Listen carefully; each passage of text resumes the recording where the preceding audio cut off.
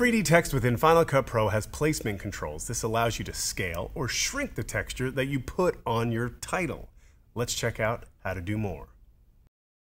If you haven't already, be sure to check out our video covering the basic substance controls. In this video, we'll be going over how the placement controls work. For demonstration, we'll change the material to scales from the miscellaneous category. The material layers we had before will be replaced by all layers that make up the Scales preset. Let's adjust the placement of the custom bump map, so we'll click on Show to expand the controls. To see all the options, we'll select the arrow next to Placement. If we leave this as Shared Placement, the global placement options will apply to this layer. We'll see what that means in just a moment. Or we can choose Independent, meaning our adjustments will only affect this layer. Let's take a closer look at these options. Place On applies the bump map to individual layers, or to the whole object. Side placement is how the map applies to the sides of the object. Normal maps the texture onto the front and sides of the object in the same direction. If we choose Turn 90 degrees, the texture will be placed normally on the front, but will rotate 90 degrees when it reaches the side planes. And Stretch from Edge takes the pixels closest to the front edges and stretches across the sides of the object. Moving on, Position allows you to set the location of where the image is mapped on the object.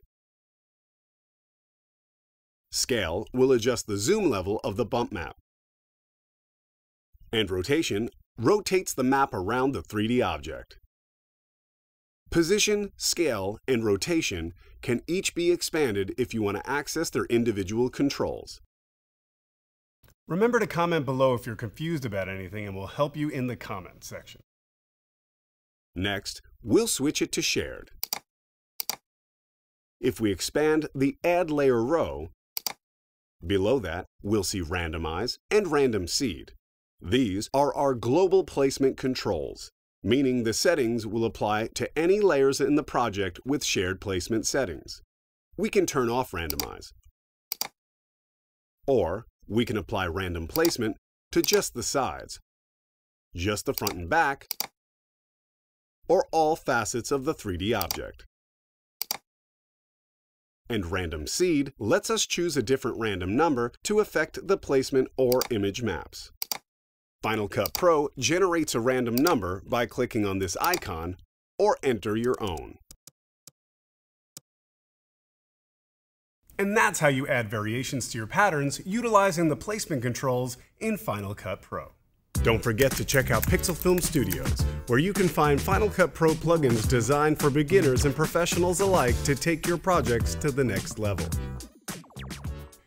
Ladies and gentlemen, if you enjoyed this episode, Please share, like, and tell your friends.